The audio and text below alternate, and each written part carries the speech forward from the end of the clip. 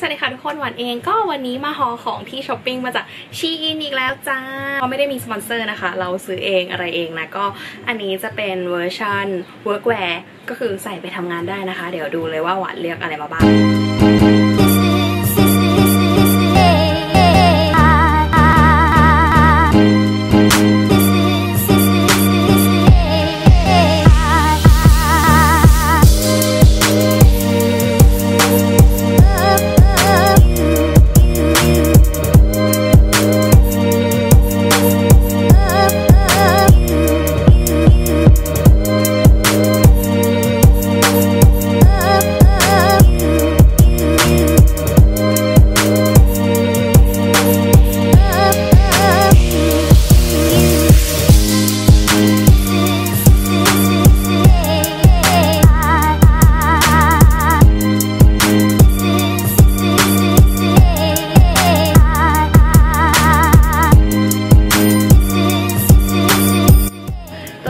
blazer เซตนะคู่กับกระโปรงนะคะ แล้วก็มีชุดเซตอีกชุดหนึ่งที่เราเลือกมาเป็นสีขาวเหมือนกัน จะเป็นชุด crop top ผ้าลินินเหมือนกันเลย อันนี้รู้สึกว่า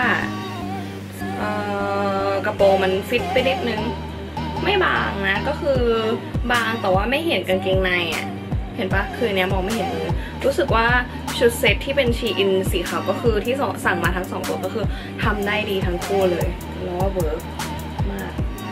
อันนี้ก็คือความยาวระดับที่เอ่อ156ใส่แล้วดูไม่สั้นเกินไปนะคะ แล้วก็ในในเซตเดียวกันนะก็จะมาพร้อมกับเสื้อ crop เสื้อ crop ด้วย เออซึ่งเสื้อ crop เป็นแขนตุ๊กตานะน่ารักดีแต่ว่าเสื้อบางกระโปรงไม่บาง ถ้าอื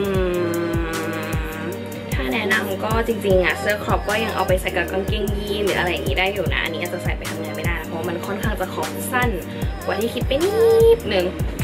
แต่ว่ากระโปรงเอาไปใช้ได้ดีได้มาชอบทั้งสองตัวเลยรอบนี้รู้สึกว่าโอเคสำหรับตัวนี้ cutting ดีมากเออแล้วก็ข้างในเนี่ยบุสองชั้น เออรุ่นนี้ดีสวยเสร็จแล้วดูผอมสั้นไปนิดนึงแต่แล้วก็อันนี้ตัวสุดท้ายนะคะ เป็นเออตัวนี้คือดีเลยแล้วนะ แต่รู้สึกว่าก็ยังชอบอยู่ดีI love สิ่งนี้นะคะตัวนี้ คือแบบว่าแขนมันพอดีเอวมันดูเข้าทรง แล้วก็ความยาวพอดีทุกอย่างรวมๆมาแล้วมันดูสวยมาก แล้วก็มี accessory ที่ซื้อมาอย่างหนึ่งในรอบนี้นะคะ เป็นหมวกฟอฟฟี่ฟอฟฟี่สีครีมนะคะ ข้างหน้าเขียนว่า off beauty นะ ก็จะเป็นหมวกทรงเหี่ยวที่มีลวดดัดใส่ออกมาแล้วก็จะน่ารักเกาหลีอยู่นะคะ ก็ไว้ mix เซตกับเสื้อยืดหรืออะไรอย่างนี้